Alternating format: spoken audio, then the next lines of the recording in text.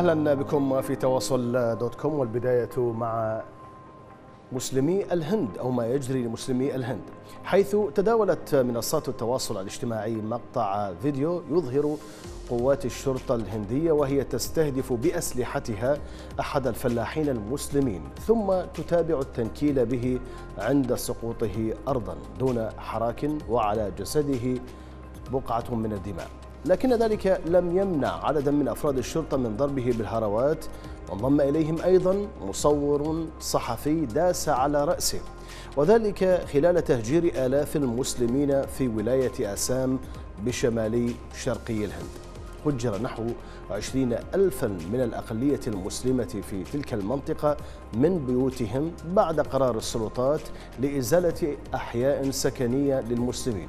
وذلك بذريعة أنها أقيمت فوق أراضي مملوكة للدولة. طبعا الفيديو أثار ضجة على المستوى الشعبي وعلى المستوى الدولي وندد به ناشطون وحقوقيون على منصات التواصل الاجتماعي. دعونا نشاهد هذا المقطع.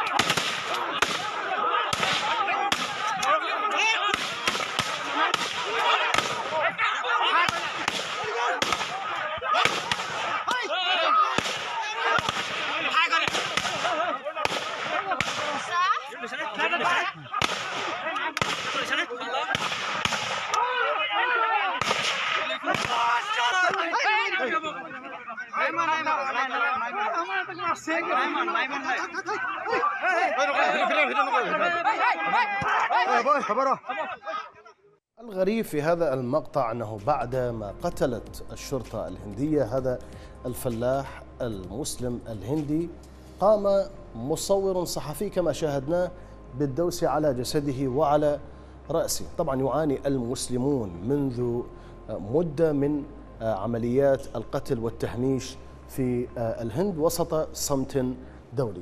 الهند تقتل المسلمين.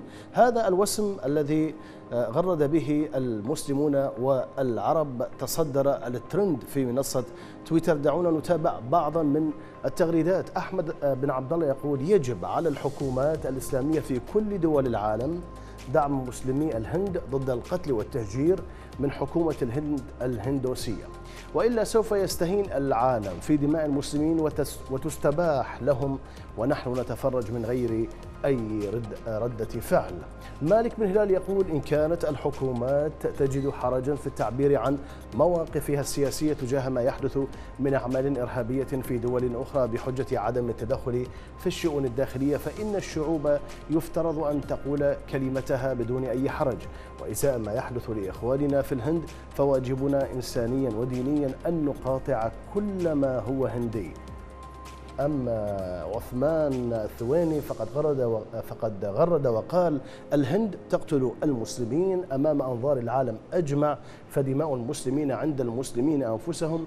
باتت رخيصة ولكن لزوال الكعبة عند الله أهون من إراقة دم مسلم. وإني لأخشى على نفسي وعلى المسلمين شعوبا وحكومات من ويلات غضب الله في استرخاصنا لدماء الأبرياء. اللهم هل بلغت؟ اللهم فاشهد. وسام العامري قال آن الأوان لدعم المنتجات الباكستانية والأفغانية وال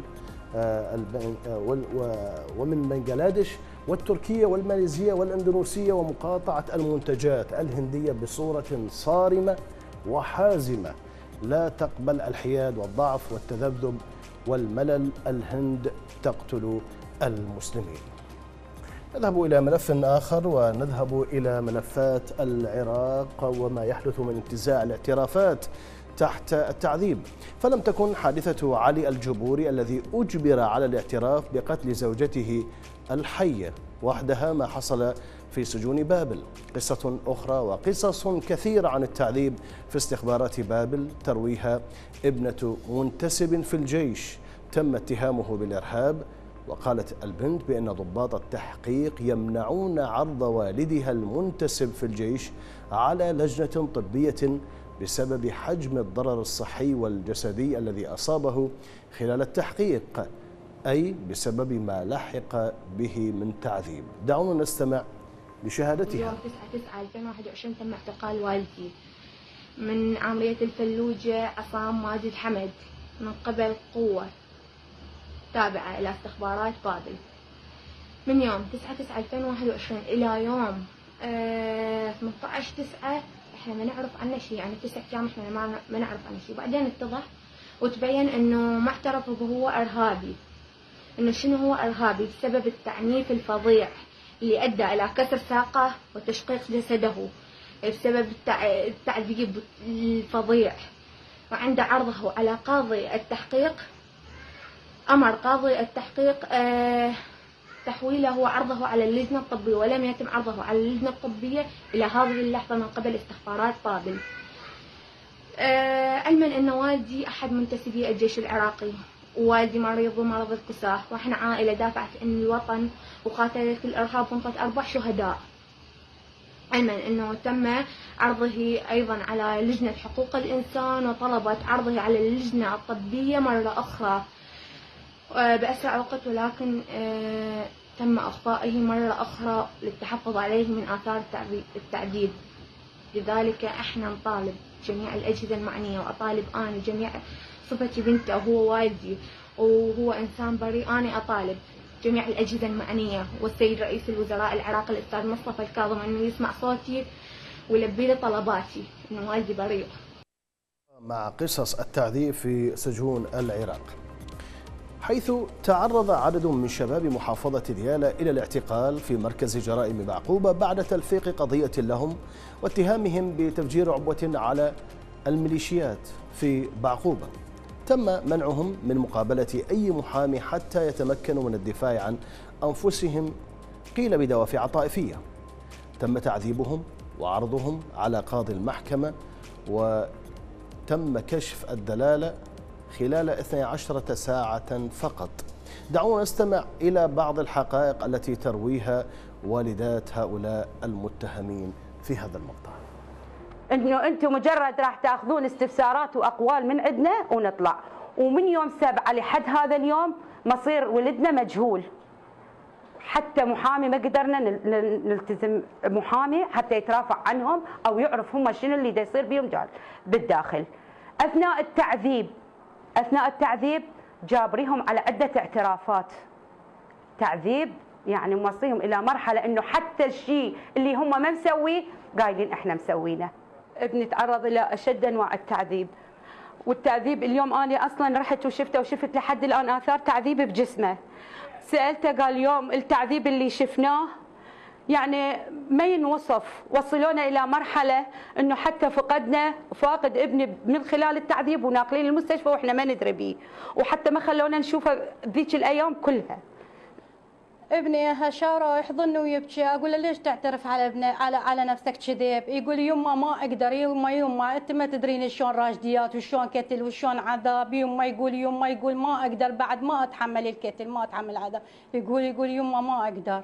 زين شلون معذبي قال لي واعترفت على نفسي كذب. يما يقول يما كله كذب. يقول يما كله كذب. وأنا هذا يقول يقول كله اعتراف كذب. ونبقى مع قصص السجون في العراق والتعذيب. فتلفيق التهم وتغيير مسار القضية وانتزاع الاعترافات تحت التعذيب السمة الأبرز في قضايا سجون العراق. وفي هذه القضية على الأخص على الرغم من تأكد العائلات أو تأكيد العائلات من براءة أبنائهم وتسليمهم بأنفسهم للجهات الأمنية. دعونا نستمع لشهادة عدد من آباء المتهمين بعد أن استمعنا إلى شهادة عدد من شهادات الأمهات. فلنتابع. قائد الشرطة بيدنا سلمناهم. أشي ثاني يوم انقلبت الساعة 180 درجة طلعوا هم اللي مفجرين هم اللي كذا على أساس إنهم معترفين. الاعترافات تمت. تمت بخلال آه، ساعات معدودة راسا. أخذوا اعترافاتهم وكشف الدلاله وعرضهم على قاضي التحقيق. بساعات يعني أكو عندنا هيك تحقيق إحنا عندنا هيك بالعراق. يعني يعني أنا أسأل يعني أسأل وخلي يوصل صوت لكل العالم.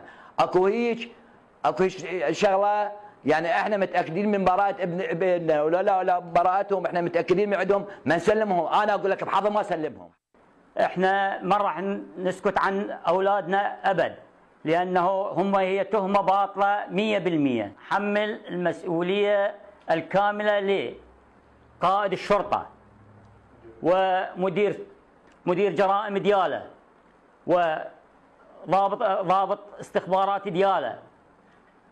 بإبراز الحقيقة وإظهارها للرأي العام. يعني شنو هالسرعة باتخاذ القرارات؟ إيش قد حاولنا أن آه، نحط نوكل محامين للقضية؟ ما قدرنا. إلى تفاعل الجمهور حول استمرار التعذيب في سجون العراق وانتزاع الاعترافات. أبو حسين الشمري علق وقال على منصة فيسبوك قال الفرج قريب إن شاء الله. شباب أبرياء وكلش زين ندري بهم وبعوائلهم الأصلاء. أما ماهر فقال دولة ميليشيات لا حسيب ولا رقيب حسبي الله ونعم الوكيل. أثير قال فعلا الله لا يوفقهم يستعملون أساليب رخيصة يخلوهم يعترفون. أما زينب عمران فقالت صوج آه، أهل الشباب صراحة تقول أكو واحد يثق بهاي الحكومة كلها حرامية وأولهم قائد الشرطة. نذهب إلى ملف آخر وكذلك في العراق. شاهدنا كيف تم تلفيق التهم لشباب أبرياء بحسب شهادات أهاليهم. لكننا سنشاهد بالمقطع التالي قصة أخرى من قصص العراق العجيبة. تبين سطوة المجرمين وتغولهم حيث تعرض منزل مواطن من محافظة البصرة للمحاصرة وإطلاق النار من قبل مركبات قادمة من محافظة ميسان. هذا المواطن يمتلك شركة صيرفة وقد قام أبناء هذه العشيرة التي اعتدت على بيته بسرقة مليار وثمانمائة مليون دينار من شركته العام الماضي. وقد تم إلقاء القبض عليهم وإصدار أحكام قضائية ضدهم.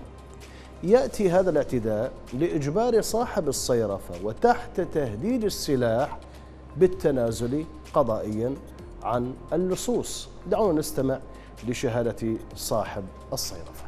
أنا صاحب شركة صريفة والمقت العام. ما يقارب مليار و850 والحرامية لزموهم. والحمد لله وشكر لزموهم الجرائم. والسيد عميد محمود اللي تحقق بهذا الموضوع والسيد القاضي يعوني هسه يرجون مني تنازل أنا أتنازل عنهم وأطلعهم. تحت التهديد بالسلاح بالكذا والبارحة بالساعة بالوحده أنا صاحب عائله ورجال تاجر وما أعرف وين أطوجي وين أروح ما أدري. عائلتنا رعبت الوليد الرعبوا البيت تفلش كسروا لنا البيت طلق رمي ما أعرف. يعني يجون من محافظة ميسان للبصرة ويرمون. زين وين وين قواتنا الأمنية وين إخواننا وناشد وزير الداخلية؟ تخيل الله يخلصونا. وين نروح؟ وين نشتغل؟ وين نطوي وجهنا؟ حسبي الله ونعم الوكيل، إحنا هم نقدر كل شيء نسوي بس مقدار احترام للقانون، احترام للدولة، نعم تساؤل مشروع. أين هي القوات الأمنية؟ أين هي وزارة الداخلية؟ أين هي الحكومة؟ من كل هذه العجائب التي تحدث في العراق وبشكل نوعي. دعونا نذهب إلى تفاعل الجمهور العراقي حول هذه الحادثة. قال خلي يفتح الكاظمي مركز آه، شرطة أحسن له من يشتغل رئيس آه، وزراء. أما محمد فقال العراق اللي عنده فلوس ما مرتاح والما عنده هم ما مرتاح. تقول لا لا ناس مجرمين وسراق هاي مو عشاير هاي عصابات لأن العشيرة المضبوطة بالعرف العشائري ما تدافع عن حرامية وتتبرأ من الحرامية. أما أحد فيقول المن باقي بالعراق يقول لصاحب الصيرة فعمي اطلع من العراق والله أبرد لك أو أبرد لراسك نذهب إلى صورة أخرى أو قصة أخرى من قصص العراق. الصور المأساوية التي آه، شاهدناها قبل قليل مع بعض ليست الوحيدة أو ليس المشهد الوحيد في العراق. تطالعنا بين الحين والآخر. الأخبار عن حالات إيجابية تستحق الوقوف عندها والثناء عليها. وما حصل بين ومن بين هذه المواقف ما حصل لعائلة عراقية نسيت أموالها مع صاحب سيارة أجرة حيث سارع صاحب السيارة إلى إعادة الأموال في مشهد يعبر عن الأمانة. لسه الدنيا بخير. دعونا نتابع. بعد معاناة وفر بالحميدية منطقة الحميدية لقينا البيت اللي نزلت يم العائلة وهذا الولد عمهم. وهسه رايحين إحنا إن شاء الله نرجع الفلوس للحسينية. طلعت بيت طلع بيتهم بالحسينية مرة جديد تحياتي لكم.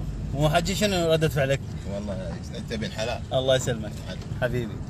وهسه رجعنا للحسينية وهذا المبلغ اللي اللي رجعناه للعالم نسوه بالسيارة وإحنا بخدمتكم إن شاء الله. طبعا شكرا جزيلا. الله يحفظك. وإن شاء الله يعوضك الله ويشوفك النور. الله يسلمك. ويشوفك هذا حلالكم ورجع لكم. يعني ما ونتمنى من العالم كله أي واحد ينسى له شغلة بسيارة ينشا يعني ينسى. الله الله يحفظك. يعطيك العافية. الله يخليك. الله يسلمك. بس الله دعائك دعائك إن. شاء الله الله. عبر العراقيون على منصات التواصل الاجتماعي عن شكرهم وتقديرهم لسائق لسائق سيارة الأجرة. دعونا نتابع ما قاله آه، بعض العراقيين. أركان محمد قال هاي رسالة ودرس للبرلمان العراقي خليه يتعلم من ابن العراق البار. أما أحمد فقال لو خليت قلبت لا تزال النفوس الطيبة وأصحاب المواقف النبيلة ترتقي بأهلها بكل فخر. التربية الأصيلة تثمر طيبا هنيئا لك بدعوات الملهوفين. أما أبو عماد فقال أسأل الله أن يرزقك الذرية الصالحة ويقتدي بك من دمروا البلد وسرقوا أمواله وأصبحوا المثال السيء في التاريخ. عليهم من الله ما يستحقون. أم فاطمة قالت لو خليت قلبت آه، الطيبين هواية الله يكثر من أمثالك. نذهب إلى أنت ترى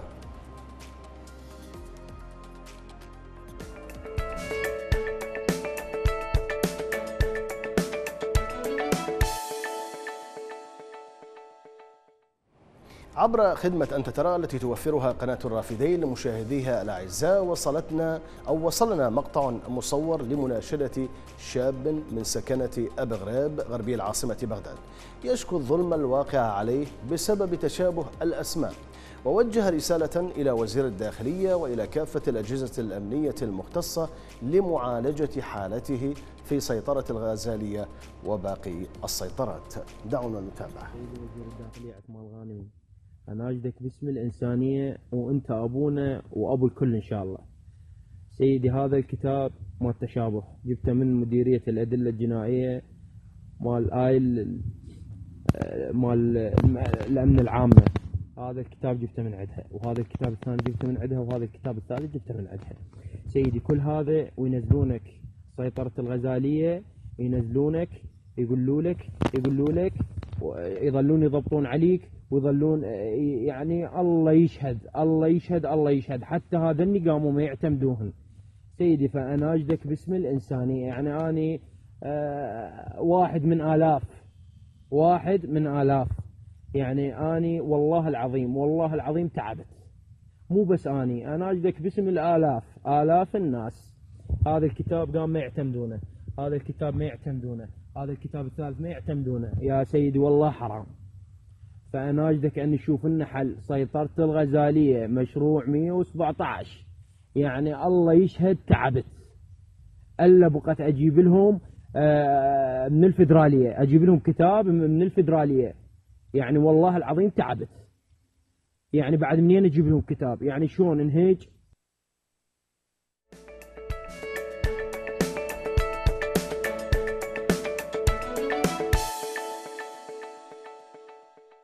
وعبر البريد الإلكتروني لقناة الرافدين وصلتنا هذه الرسالة والتي جاء فيها إلى الجهات المختصة في محافظة الأنبار. نحن عائلات متكونة من النساء فقط وبمفردنا في البيت وقد داهمتنا قوة مشتركة من سوات والشرطة بدون أمر قضائي إلى أين وصل الحال؟ يتساءل بنا بحيث يقوم أي شخص لديه عداوة مع شخص ثاني بالتبليغ عليه والادعاء بأنه إرهابي والقوات الأمنية وبدلا من التحقيق وحماية الضعيف وبسبب استلام الرشوة تداهم منازلنا بعد منتصف الليل فضلا عن تهجمها علينا بالسب والشتم بذريعة داعش وبدافع الكره والحقد.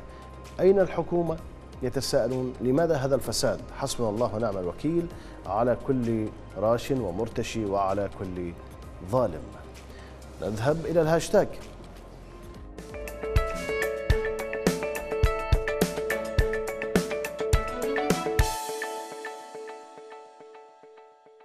طلب المغردون العراقيون على منصة تويتر بتفعيل قانون العنف الأسري بعد ارتفاع معدلات العنف تجاه الأطفال والنساء الذي دق ناقوس الخطر في أو من قبل المنظمات المعنية بحقوق الإنسان في العراق.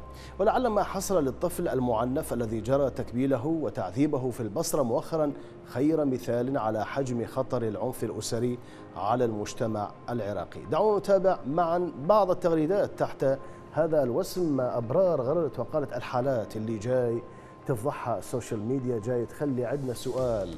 واحد إيش قد عدد الحالات المخفية؟ إيش قد أكو نساء وأطفال جاي يتعذبون ويقتلون بمكان ما بهذا البلد وما حد درى عنهم؟ تفعيل قانون العنف الأسري تقول أبرار أصبح ضرورة حتمية إنسانية بوسط هذه الغابة العايشين بها. أما سجاد فيقول وصل الحال بأنه طفل يتمنى يموت. هاي حالة من الآلاف من آلاف الحالات اللي تصير يوميا بالعراق بسبب التخلف والجهل اللي نعيش. وطبعا غياب القانون منأ من العقاب أساء الأدب.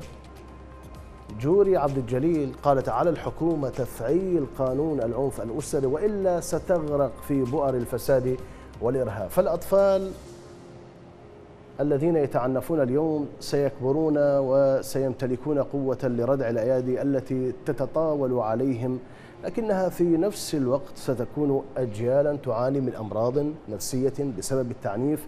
لن يجعل منها هذا التعنيف إلا أجيالا محطمة ولا تعرف غير التحطيم. علي قال في العراق فقط الطفل يتمنى الموت. في العراق فقط الأب يضرب ابنه إلى أن يغرق في دمه. في العراق فقط ترى القانون مع الجهلة تفعيل قانون العنف الأسري. نذهب إلى القصص المنوعة